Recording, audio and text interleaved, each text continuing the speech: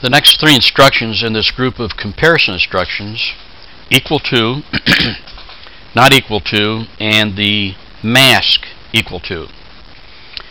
Very simple instructions, at least the first two are. The mask equal, once you come to understand the behavior of a mask within an instruction between a source and a destination, it too is also very simple. Now the equal instruction, it's either equal to a value or it's not equal to the value.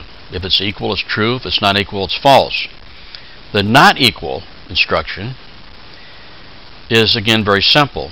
Either the A is equal, not equal to B, or it's equal to B. Now, they're not really exact opposite instructions because if you have A equal to 5 and if the value is 5, well, it's true. And there's only one value where it can be true. So the equal instruction is only true if A is equal to B. However, the not equal, there are many values not equal to B. So they're, they're not, you can't negate one instruction to get the same results. Click in the orange box when you're ready to fly.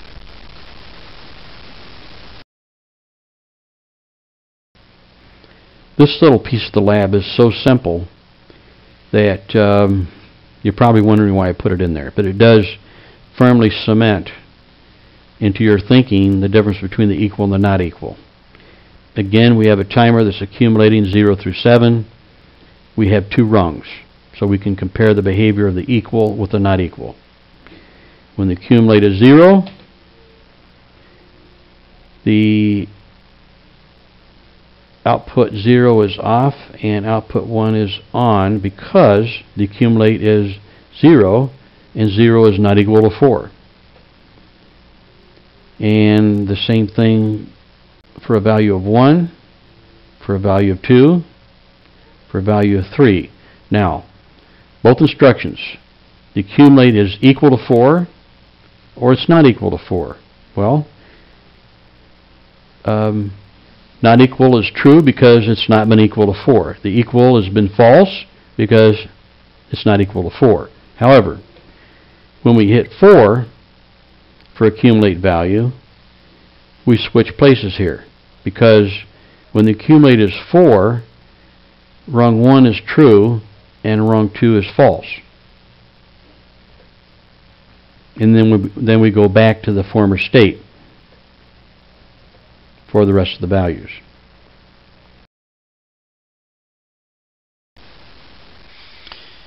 In this section of the lab, we're going to work with the mask equal. In this case, we use the same instruction twice. In rung 1, the mask equal is controlling output 0, and in rung 2, the mask equal is controlling output 1. In both cases,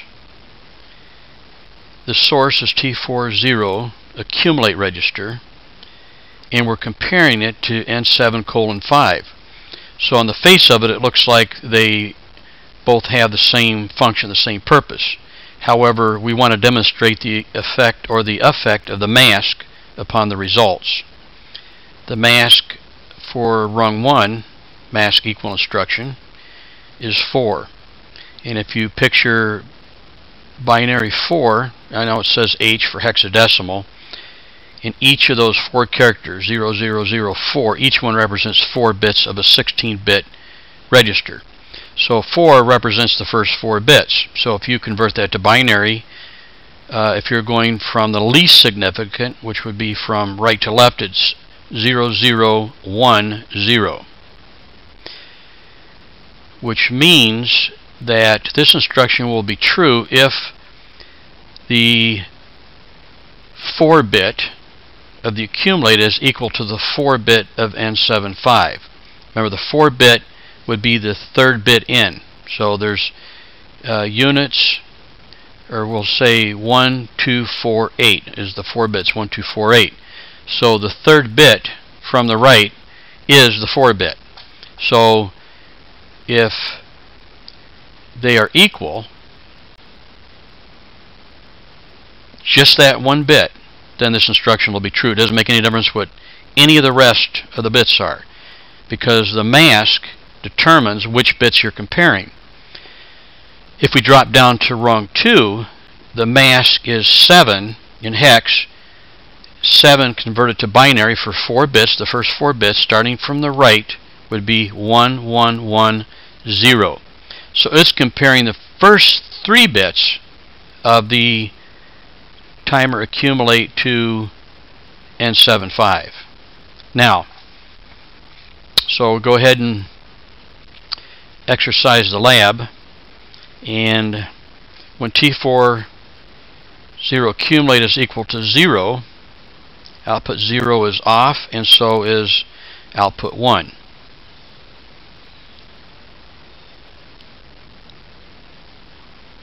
When the accumulate is 1 output 0 is off output 1 is off. When the accumulate increments to 2 output 0 is off and so is output 1. When the accumulate is equal to 3, output 0 is off, output 1 is off. When the accumulate is equal to 4, output 0 is on and output 1 is on. When you accumulate to 5, then output 0 is still on, but output 1 has gone off when we accumulate, now remember we're only comparing one bit here for the first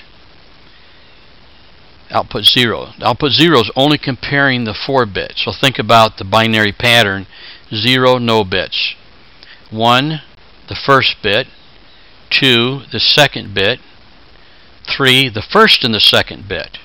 Again, we're only comparing the third bit. So when we accumulate to 4, then the third bit is now on and the first two bits are off, but it's only that bit that we're comparing. When we increment to 5, then you've got 1, 0, 1, but still the 4 bit is on. When we accumulate to 6, the 4 bit is on. When we accumulate to 7, the 4 bit is on. But in the case of output 1, we're comparing the first 3 bits. And the only time that they're going to be equal, the first 3 bits, is when the accumulate is 4 and equal to N75. At least between 0 and 7. If we went a little higher in the accumulate, we might see another instance, but just for this illustration. Now, in my example here, for the next question, I did not pick either of the parameters in rung 1 or rung 2. I picked a different one. The accumulate is equal to 7. The mask is equal to 5. And N75 is equal to 6. In the above illustration, our T4 colon 0 dot ACC, the accumulate register, and N75 integer are they equal? No. The even if they were equal, would the instruction be true if this were the mask? Let's consider that. If N75 was 7, then the instruction would be true even though you're blocking the 2-bit. So if you look at the accumulate, 7 is 111. But the mask is only comparing the first bit and the third bit, or you could say the 1 bit and the 4 bit, which is equal to 5. So if in N75, in any instance where the first bit is equal to 1 and the third bit is equal to 1, then this instruction is going to be true. If this were the mask, 5, and the accumulate value was 7. So see, as you continue to increment up with the accumulate, there will be other instances where this instruction will be true. Any time that the first and third bit are equal to the first and third bit in N75, then the instruction is going to be true. Now, in this example right here, um, it's not true. Okay, simply because bit 1, the first bit of the accumulators 1 and the first bit of N750 is 0 and they are being compared. If you look you see the mask is open.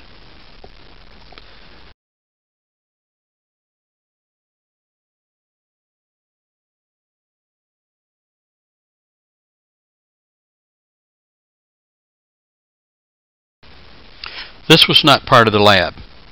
However, in retrospect, this may have made the lab a little easier so if you want to go back and use this logic and redo the lab, you're more than welcome to. With a TON instruction, on delay timer, it has a true and a false execution. So anytime you turned off input 0, it reset. I had made the time base one second so you had time to look at the results as it incremented 0 through 7. However, one second might not have been long enough for you to adequately look back and forth between your chart and the logic. So, if you wanted to convert the TON instruction to an RTO retentive timer on delay, then when you turn input 0 off, it is not reset because it has no false execution. A TON, when the rung goes false, resets everything. An RTO, when the rung goes false, it just stops and becomes silent. It no longer does anything. It stops accumulating. If you're going to use an RTO, then you need to add a reset instruction, which you see the last rung using input 1 will reset T4 colon 0 timer data type back to 0 and you can start over. So this, this might have been a better way to go to make it easier for you to follow what was going on between these two. Remember, with the mask equal, the mask determines which bits you're comparing. So if the mask were 0, then you're not comparing anything. So you need something open in the mask. You, if you have all 16 bits set to 1, then you're comparing all 16 and it'll always be true. Well, I, I take that back. I'm sorry. If, if you made the mask um, F, F, F, F, that's all 16 bits 1 in a hexadecimal, then the only time this would be true was when the accumulate equaled 4 which is not the case with a mask that is 4 or 7. Because remember I explained with 4 you're comparing one bit. So every time your binary value has the 4 bit or the third bit from the right as a 1, then this instruction is going to be true. That's going to happen many times as the timer increments up through the count. To do that, you'd have to set the preset up to something much higher, even as high as 32,767, and then sit there and watch as the bit patterns change and you see the instruction going true and false but going true anytime that one bit is 1.